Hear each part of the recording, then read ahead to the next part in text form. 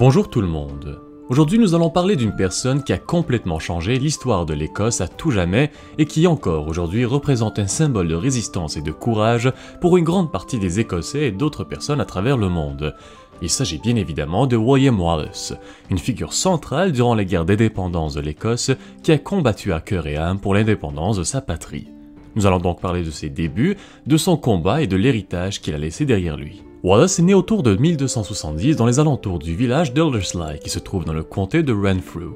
On ne sait pas grand chose sur son enfance puisque presque aucun document contemporain de cette période n'a survécu, mais on sait quand même qu'il était le deuxième de trois frères et que son père était un chevalier d'Elderslie et vassal de James Stuart, le cinquième grand sénécal d'Écosse. Plus tard, un ménestrel connu sous le nom d'Harry l'aveugle rapporte que William Wallace avait été élevé dans le village de Pass par un oncle ecclésiastique et que c'était avec lui qu'il avait appris le latin et le français.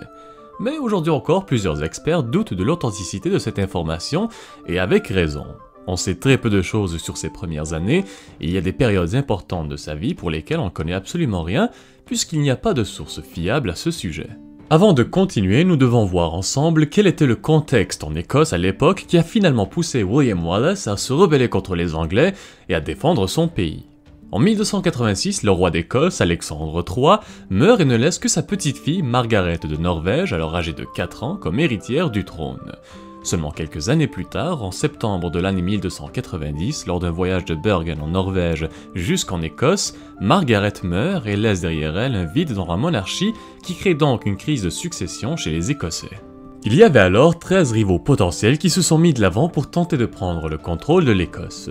Mais craignant une guerre civile dans le pays, les gardiens de l'Écosse, qui étaient donc en quelque sorte des régents en place de pouvoir lorsqu'il n'y avait pas de roi ou de reine à la tête du pays, avaient invité le roi Édouard Ier d'Angleterre à sélectionner le meilleur candidat. Mais en 1292, le roi d'Angleterre a simplement choisi quelqu'un qui pourrait agir comme son souverain fantoche en Écosse, une personne qu'il pouvait contrôler lui-même à sa guise, il s'agissait de John Balliol. Mais le règne de Balliol s'était avéré très faible et donc les Écossais ont commencé à entreprendre l'idée d'une rébellion, non seulement en raison de l'incompétence du roi, mais aussi à cause de l'imposition du roi Édouard de lourdes taxes sur eux pour payer ses propres campagnes en France. Mais en 1295, les Écossais signent avec la France le traité de Vieille Alliance, aussi connu sous le nom du traité d'Old Alliance. Ce traité signifiait que les Écossais envahiraient l'Angleterre si les Anglais envahissaient la France, et en retour, les Français soutiendraient l'Écosse. Plus tard, apprenant que les Français et les Écossais avaient signé un traité entre eux, Édouard envahit l'Écosse et remporte une victoire à la bataille de Dunbar. John Balliol avait donc abdiqué en juillet, il a aussi été dépouillé de sa couronne avant d'être retenu captif dans la tour de Londres. Ensuite, trois barons anglais ont été choisis pour gouverner l'Écosse, et pour empirer tout ça, Édouard a même volé la pierre du destin qui était traditionnellement un symbole de la monarchie écossaise, un symbole très important pour le peuple.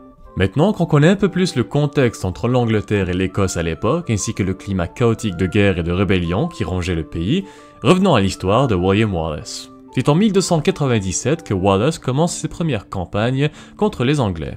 Il attaque en premier la ville de Lanark en Écosse avec une trentaine d'hommes où il tue le shérif anglais William Heselrigg, qui était stationné là-bas. Cette victoire alluma une étincelle de rébellion chez les Écossais qui étaient déjà mécontents par rapport à leur traitement injuste aux mains des Anglais. Les hommes affluèrent alors de toutes parts pour rejoindre sa cause et il commença à chasser les Anglais de la région de Fife et de Perthshire.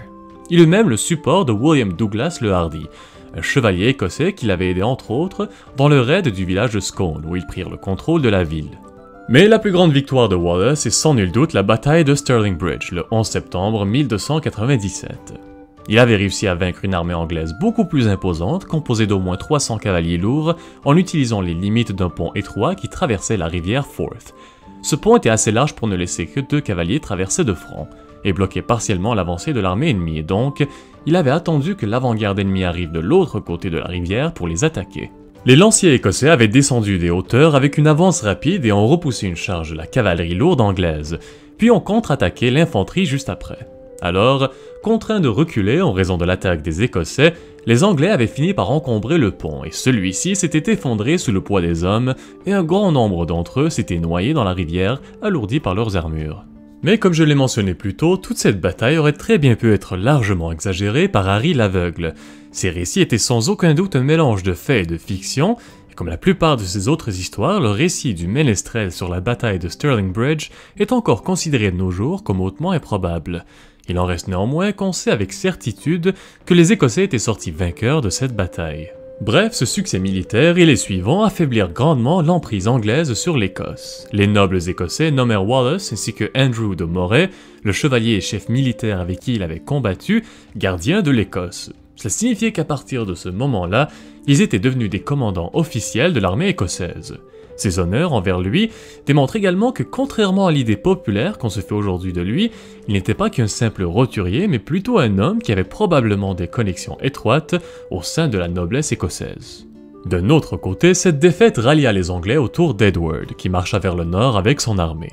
Wallace, de son côté, s'était régulièrement retiré plus au nord, tout en évitant une confrontation directe pour attirer l'armée du roi anglais plus profondément en Écosse. Il espérait que le manque de matériel et de provisions deviendrait éventuellement un problème pour l'ennemi. Les deux armées se sont finalement rencontrées à la bataille de Falkirk le 22 juillet 1298. L'armée d'Edward avait de grands contingents d'archers à arc long et leur cavalerie était redoutée. sans grande surprise, ils avaient mis en déroute les lanciers écossais.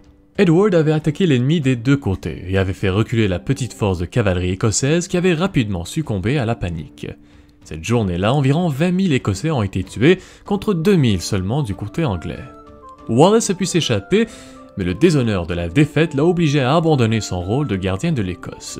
Il est possible qu'il se soit d'abord rendu en Norvège quelque temps avant d'aller en France. Certaines sources indiquent qu'il avait peut-être cherché un soutien financier et militaire en France pour pouvoir continuer la lutte pour l'indépendance de l'Écosse. Mais encore une fois, ces mêmes sources pour cette période étaient très très rares et incertaines.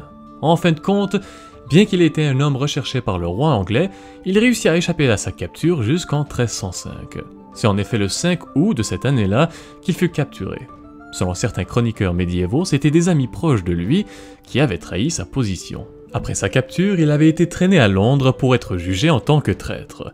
Il aurait apparemment été obligé de porter une couronne de feuilles de chêne pour signifier son statut de hors-la-loi, et comme on pouvait s'y attendre, il a finalement été condamné le 23 août à la peine de mort la plus horrible qu'un tribunal anglais pouvait prononcer à l'époque, être pendu, tiré et écartelé. Sa tête avait été placée sur le pont de Londres et le reste de ses membres étaient affichés à Newcastle, Berwick, Stirling et Perth pour servir d'avertissement aux autres. Deux ans après sa mort, le roi d'Angleterre, Edward, avait fini par rendre l'âme, et c'est Robert Ier d'Écosse, plus connu sous le nom de Robert Bruce, qui mena son peuple à la gloire avec une victoire notable à la bataille de Bannockburn contre une armée anglaise beaucoup plus imposante en 1314. William Wallace était considéré par les Écossais comme un martyr et comme un symbole de la lutte pour l'indépendance, et tous les efforts qu'il avait faits de son vivant se poursuivirent bien après sa mort. Finalement, l'Écosse a obtenu son indépendance 23 ans après l'exécution de Wallace avec le traité d'Édimbourg-Northampton en 1328, et est depuis resté dans les mémoires comme l'un des plus grands héros écossais. William Wallace n'était plus de ce monde, mais il était loin d'être oublié. Ce qu'il avait fait pour l'Écosse et son dévouement pour la liberté ont fait en sorte que son influence est encore reconnue aujourd'hui à travers le monde entier. Il est encore considéré comme l'une des figures les plus importantes de l'histoire écossaise et même représenté dans la culture populaire, comme notamment dans le film Braveheart, qui est l'histoire de William Wallace tirée du poème du barde Harry l'Aveugle.